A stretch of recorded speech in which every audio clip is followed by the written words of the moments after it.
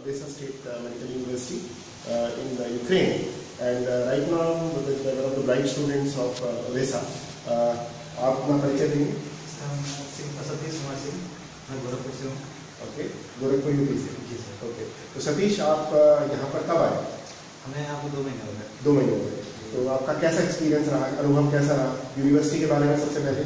University बहुत अच्छी है सर। ओके यहाँ पर मतलब पढ़ाई के सब टीचर बहुत अच्छे हैं। ओके मतलब यहाँ मोस्टली एनाटॉमी के जो फ़िल्म है तो वो बहुत अच्छे हैं। उनके जो पढ़ाने का तरीका है वो सबसे बेस्ट है यहाँ ओके और शहर कैसा है ओडेसा शहर शहर तो बहुत खूबसूरत है सर। गोरखपुर से ज़्यादा अच्छा है? गोरखपुर से अच्छा है। थोड़ा सा ज़्यादा अच्छा है। ब्यूटीफुल है बहुत ज़्यादा खूबसूरत जगह है ओके यहाँ पे मतलब आपको लगेगा नहीं आप इंडिया से बाहर हैं। लगेगा कुछ रिलेटेड ओके ओके तो आपको ये देश कैसा लगा बहुत अच्छा। देश भी बहुत अच्छा लगा। जी सर ओके। तो जब आप यहाँ पर आए यूक्रेन में पहुँचे तो आपको किसी ने रिसीव किया? आपको जी सर। किसी ने डिजास्टर सर वहाँ पे मिले थे सर हबीब सर। अच्छा। वो उन्होंने रिसीव किया फिर हमें सर यहाँ पर लेके अच्छा ओके। तो ये आपको एयरपोर्ट पर रिसीव करा। बाकी उसके बाद भी उन्होंने कोई आपको सहायता या हेल्प प्रोवाइड की हमें बहुत सहायता हेल्प किया। हमें अ, जैसे यहाँ पे कुछ जगह हमें अपार्ट हॉस्टल अच्छे नहीं लगे बहुत अपार्टमेंट भी लाया अपार्टमेंट बहुत अच्छे मिले हमें अच्छा। मतलब इस, इसके लिए कोई उन्होंने एक्स्ट्रा चार्ज नहीं किया। Okay okay.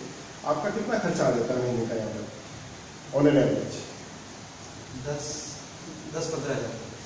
दस दस से पंद्रह हज़ार रुपये पर महीने का खर्चा मैक्सिमम हाँ। मैक्सिमम आपकी कोई एम सी वगैरह की कोचिंग वगैरह भी अभी होती है? अभी नहीं अभी नहीं ओके।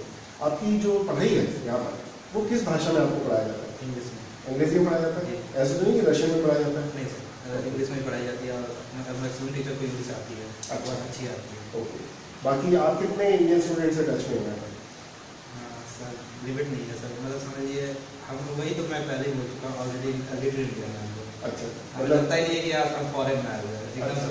छोटा सा इंडिया समझिए। और यूपी के कितने स्टूडेंट होंगे? ठीक है तो सर तो मतलब पाँच सौ से near four three hundred four hundred तीन सौ चार सौ स्टूडेंट यूपी से ही है।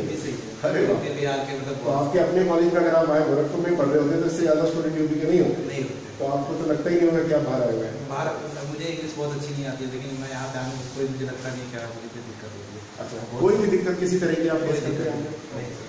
कोई हेल्प करने वाला हमेशा कोई है? हाँ लिए? अकबर सर सर हमेशा रहते हैं। वो हमेशा आपके साथ रहते हैं। कोई आपका सुझाव सजेशन वगैरह जो आगे बच्चे इस यूनिवर्सिटी वगैरह के लिए कंसिडर कर रहे हैं उनके लिए आपका क्या सुझाव रहेगा सही बेस्ट यूनिवर्सिटी रहा सबसे बढ़िया अ, यूक्रेन सबसे बेस्ट यूनिवर्सिटी। रहेगी ओके पढ़ाई के मामले में भी? पढ़ाई के मामले में सब चीज़ का बहुत अच्छी है। और जो पैसे वगैरह खर्च कितने होते हैं फ़ीस वगैरह के मामले ये तो मैं अपना खर्च करता हूँ तो मेरा ज़्यादा लगता है। अच्छा। और ये तो डिपेंड करता है लोग कितना कितना खर्च करते तो कम से कम यहाँ कितने खर्चे में पर महीना बच्चा रह सकता अगर अगर ऐसा ज़्यादा से ज़्यादा खर्च करे तो बीस हज़ार मैक्सिमम और कम से कम? कम से कम दस हज़ार बहुत है उसके लिए। दस हज़ार में आराम से खर्चा रहने प्लस खाने का यहाँ पर हो जाएगा। अपार्टमेंट का हॉस्टल का तो हम लोग पहले ही दे चुके हैं ओके उस- वही दस हज़ार में तो बहुत आराम से रहेगा दस हज़ार में दोनों मिला अपार्टमेंट रहने का और खाने का सब मिला के सारा खर्चा। ओके बाकी सतीश आपके फैमिली बैकग्राउंड क्या है? सर मेरे पापा बिजनेसमैन है। ओके पापा बिज़नेस मैन है। ओके तो आप अपनी फैमिली में फ़र्स्ट जनरेशन डॉक्टर होंगे। तो कैसा मतलब क्या अनुभव है? क्यों आपने डिसाइड किया कि डॉक्टर बनना चाहिए?